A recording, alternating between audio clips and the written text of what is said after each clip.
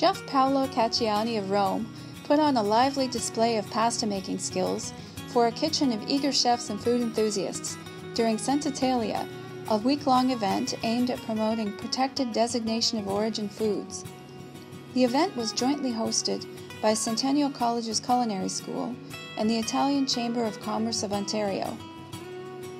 A star in Italy, Chef Paolo has written two cookbooks and runs a culinary course from Ristorante Cacciani, his restaurant in Rome.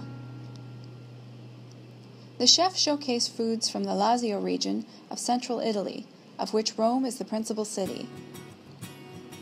He whipped up a batch of penne carbonara made with a cream sauce and featuring guanciale, a cured meat made from pork jowl or cheek.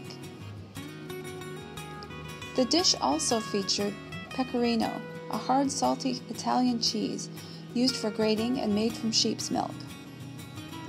Chef Paolo said several areas of Italy have a version of the cheese, including Lazio, Sardinia, and Tuscany. The chef suggested draining the grease well once the guanciale is cooked. He also recommended mixing water with the eggs before adding them to the cream sauce.